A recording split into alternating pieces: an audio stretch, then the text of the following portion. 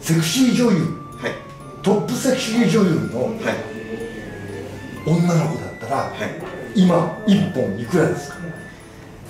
トップえっとそれはもう女の子もらってるがあの SOD の方からお支払いしてるようなその契約金っていうものですと、うん。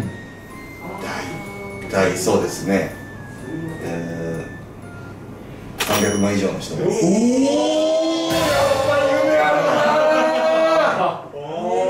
やっぱり男と女ってそんなに差があるんですね。そうですねうんその子って、はい、名前って聞けます名前はちょっと言えないです。言えない。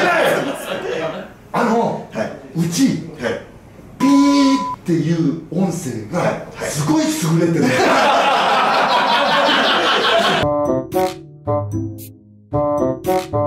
い